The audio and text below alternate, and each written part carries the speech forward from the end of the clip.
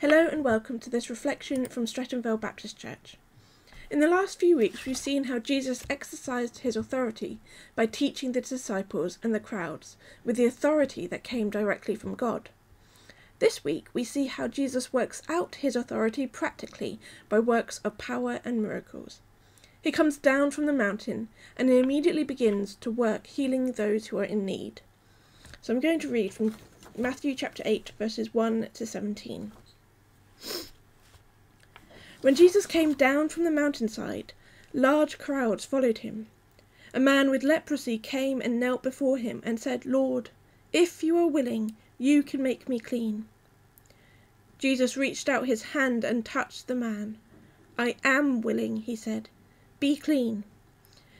Immediately he was cleansed of his leprosy.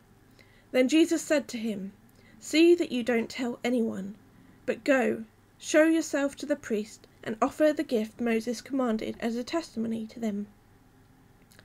When Jesus had entered Capernaum, a centurion came to him asking for help. Lord, he said, my servant lies at home paralyzed, suffering terribly. Jesus said to him, Shall I come and heal him? The centurion replied, Lord, I do not deserve to have you come under my roof, but just say the word, and my servant will be healed. For I myself am a man under authority, with soldiers under me. I tell this one, Go, and he goes, and that one, Come, and he comes. I say to my servant, Do this, and he does it. When Jesus heard this, he was amazed, and said to those following him, Truly I tell you, I have not found anyone in Israel with such great faith. I say to you that many will come from the east and the west and will take their places at the feast with Abraham, Isaac, and Jacob in the kingdom of heaven. But the subjects of the kingdom will be thrown outside into the darkness, where there will be weeping and gnashing of teeth. Then Jesus said to the centurion, Go, let it be done just as you believed it would. And his servant was healed at that very moment. When Jesus came into Peter's house, he saw Peter's mother in law lying in bed with a fever. He touched her hand, and the fever left her, and she got up and began to wait on him. When evening came, many who were demon possessed were brought to him, and he drove out the spirits with a word and healed all who were ill. This was to fulfill, this was to fulfill what was spoken through the prophet Isaiah. He took up our infirmities and bore our diseases. So we see that in the first um, few interactions that Matthew records in this chapter, we see Jesus offering healing to three different people.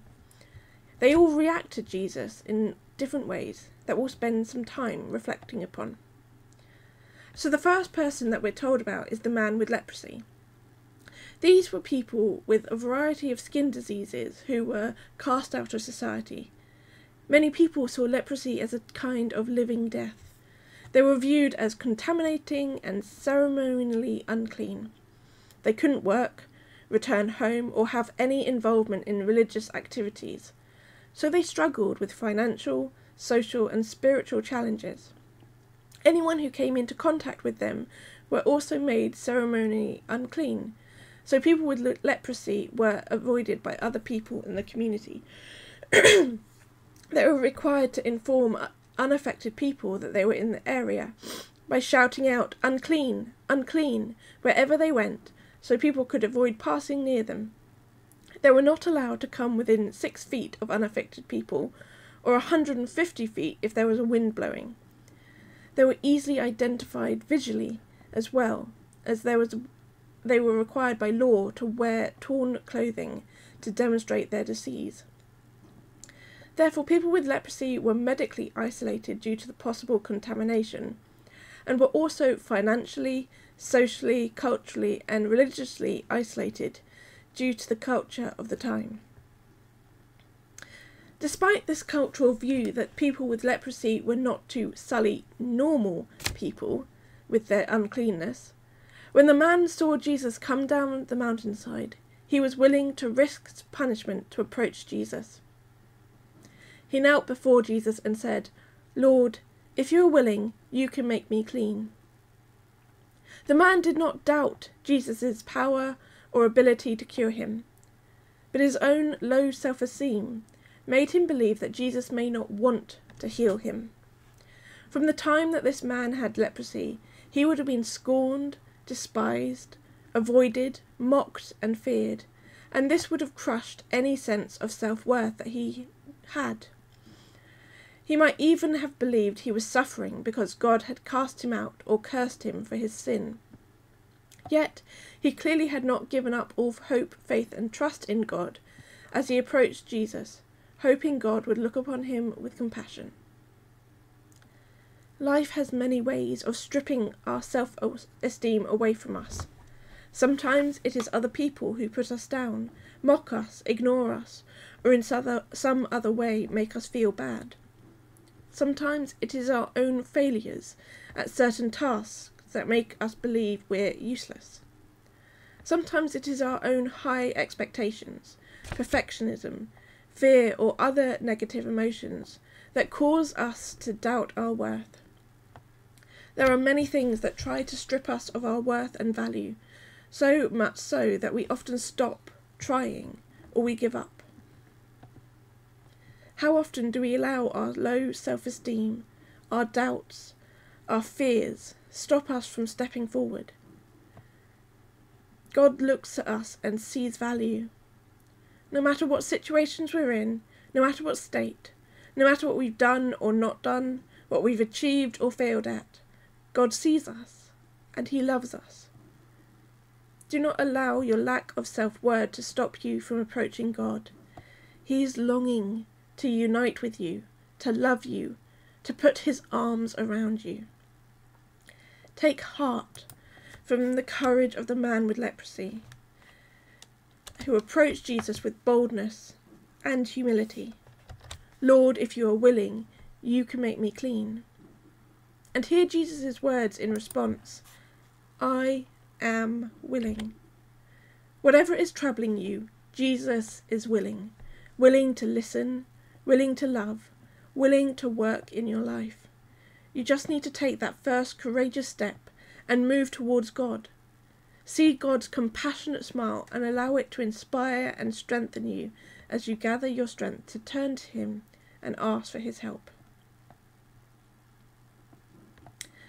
So now we turn to the centurion soldier, another unlikely figure to approach Jesus.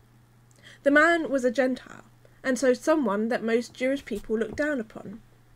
He was also a centurion, a commander of up to a hundred Roman soldiers. The centurions were feared as they were the enforcers of Roman rule in the various localities. As the centurion said to Jesus, centurions received their power directly from the Roman Empire. What the emperor said was what the centurions did. So centurions were hated and feared by the Jews, as they were both symbols and enforcers of Roman oppressor. So when the centurion approached Jesus, I wonder if the crowds and disciples feared that the centurion was there to cause trouble for them. And yet instead the centurion comes to Jesus saying, Lord, my servant lies at home paralyzed, suffering terribly. And Jesus responds to him, asking, Shall I come and heal him? The centurion's reply is pretty amazing. Lord, I do not deserve to have you come under my roof, but just say the word, and my servant will be healed. Once again, there is a recognition that, compared to Jesus, he has little worth. I doubt that the centurion struggled with self worth like the man with leprosy did. His position would require a fair amount of self confidence and self assurance. But even in his self assurance, he was able to recognize that Jesus was more worthy, more deserving of honor than him. So the centurion gives Jesus his respect. And like the leprous man, the centurion also recognized Jesus' power and authority to heal illness and demand that the sickness leave his servant's body. The centurion used his own experience of authority and how it can be wielded to demonstrate his confidence that Jesus could command the sickness away and it would happen by his word. For I myself am a man under authority, with soldiers under me. I tell this one, Go, and he goes, and that one, Come, and he comes. I say to my servant, Do this, and he does it. the centurion recognized from his own experience how Jesus could wield his authority without having to be physically present to cure the illness. this is a startling insight from the centurion, and Jesus commends him for his faith. Jesus notes that this Gentile, Roman centurion, had understood what many Jewish people did not. The Jews should have been the first to recognize Jesus' authority, as they had knowledge of the Old Testament scriptures, and so they knew about the Messiah. Yet Jesus notes that it is this Gentile Roman centurion who recognized Jesus' authority and had enough faith in him to trust that what he says will happen. And so Jesus cautions the crowd around him. Truly, I tell you, I have not found anyone in Israel with such great faith. I say to you that many will come from the east and the west, and will take their places at the feast with Abraham, Isaac, and Jacob in the kingdom of heaven.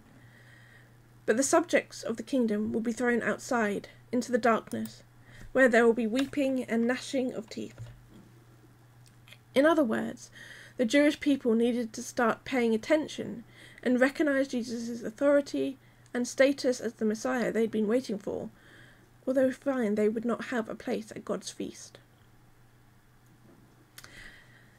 So next, Jesus travels to Peter's house, where they find his mother in law ill with a fever.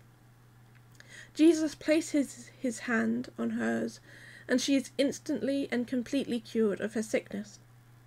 We know the healing was complete because she immediately gets up and begins to wait upon Jesus. While we don't know much about the interaction between Jesus and the mother in law, we do witness her immediate response. with the others we've looked at, we've seen how they approach Jesus with their request for healing. With the mother in law, we see how she responds after she has been healed. And this response is one of service.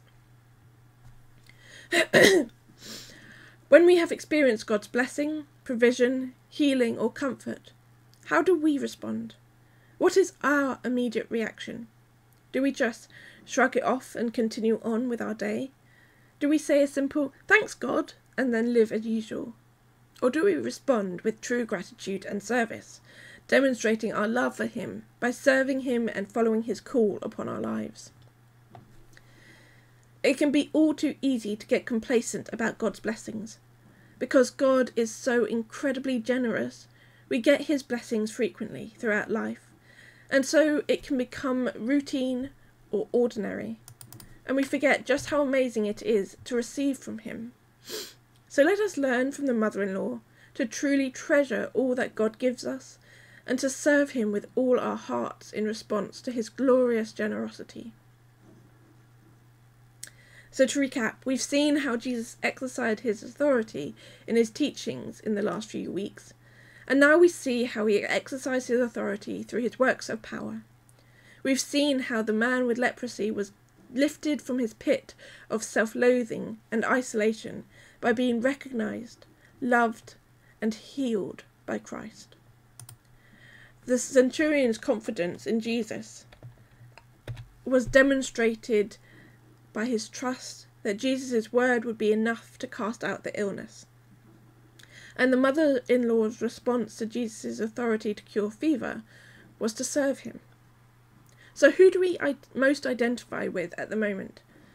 Are you needing to be seen and loved by Jesus because your self esteem is at an all time low? Are you wanting to demonstrate your faith in Jesus' authority like the centurion did? Or do you want to serve God faithfully like the mother in law? Maybe you relate to some of all of them or however you're feeling, come to God, recognize His authority, His love, His ability to do all things, and respond to Him in worship, gratitude, and service.